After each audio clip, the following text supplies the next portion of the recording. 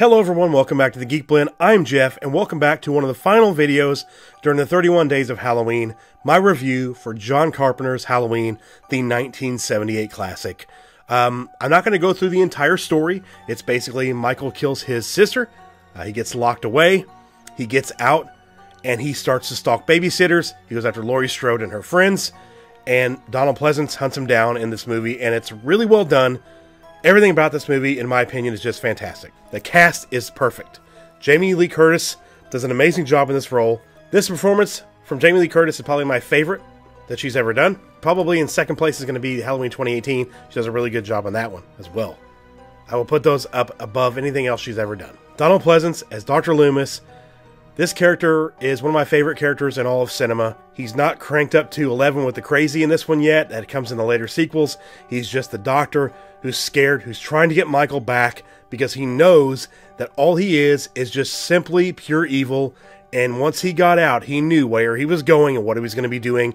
No one listened until it was too late. Nancy Kyes as Annie, PJ Soles as Linda, Charles Cyphers as Brackett, Kylie Richards as Lindsey, Brian Andrews as Tommy, I mean, Nancy Stevens as Marion Chambers. Everybody in this film, even Arthur Malet, who plays the graveyard keeper, everybody does a fantastic job. The dialogue is really well written. I actually was meant to do a totally counter uh, for every time they say the word totally in this movie, but I did not get to that. So next year, or when I actually do a commentary or a watch party, we're going to do a counter to see how many times they say the word totally. But it fits with the time period this film was shot, and it fits the dialogue with the teenage girls uh, in the movie. Nick Castle as the shape in this movie is absolutely terrifying. The way he stalks people, the way he just kind of is out of sight from everybody when he's watching them, everything works really well. Going forward after this, everyone watched his performance to see how to do it right. And if they didn't, they didn't do a good job with their research because he did everything perfect. His movements, everything about the shape in this works so well. Absolutely brilliant. The mask it's just a Captain Kirk mask from the 1970s. Rick Rosenthal got it, cut the eyes out of it, spray painted it white, spray painted the hair, ripped off the sideburns, and the way they use the lighting effects and the shadowing in this movie makes the mask work so well. Such a blank face. It's terrifying, it's uneasy, and it everything about it is just perfect. That's the thing about this movie it's one of those things where you call lightning in a bottle. Everything comes together and works perfectly. How successful it was as an independent film. It made so much money. It had a budget of $300,000 and it made millions of dollars. And it is still one of the most successful independent films of all time. John Carpenter and Debra Hill's screenplay for this is what makes it work. And John Carpenter's directing. Biggest thing about this movie that makes it as good as it is is John Carpenter's score. Without his score, it doesn't work as well uh, you watch it without that, it's not as good. You put that music in, he times everything just right with the keys and the notes. It's just perfect.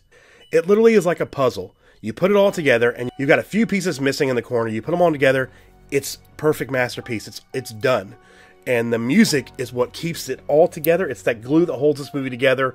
Without it, it doesn't work. To me, it's one of the best pieces of music ever written for film. It's very subtle, yet very haunting and it really plays with your emotions as the scenes go on throughout the movie, and it sets up everything re- really, really well.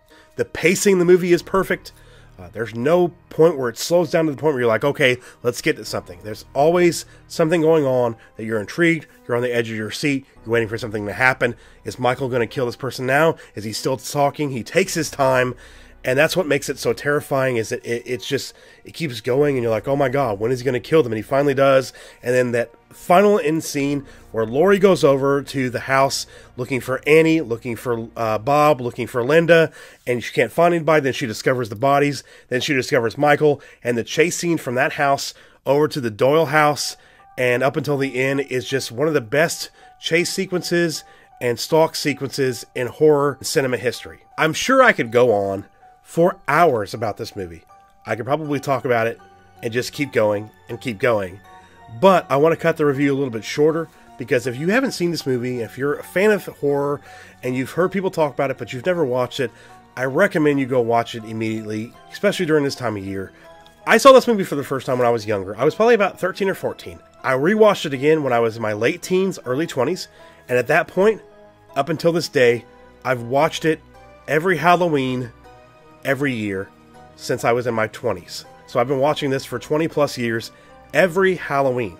Like during our Halloween party tomorrow, I will probably be playing this in the background as we're all hanging out and having a good time. This movie is perfect, in my opinion, one of the best movies ever made, the best horror film ever made.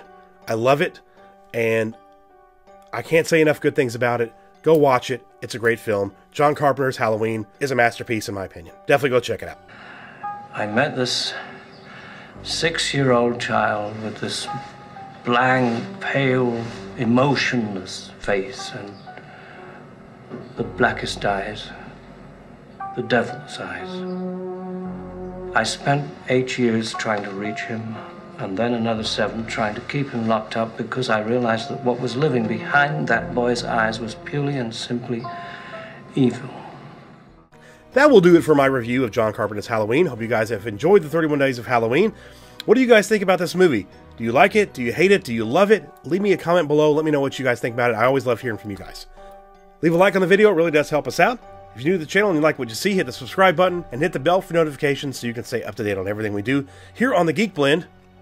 Links in the description for our social media, our Discord, and all the ways you guys can support the channel. Anything you guys can do to help us out, we would really appreciate that. And I want to say thank you to all of my current channel supporters, whether you do Patreon, Subscribestar, or you're a member. I really appreciate all you guys do for the channel. You guys mean a lot. All your names will be scrolling below me, as well as in the outro, as always. Uh, so thank you all for what you do for the channel. That will do it for this video. 31 Days of Halloween is almost over. Thank you guys for making it what it was, a success. I'm Jeff, this is the Geek Blend, and remember, if you geek about it, we speak about it. We'll see you guys in the next video. Happy Halloween.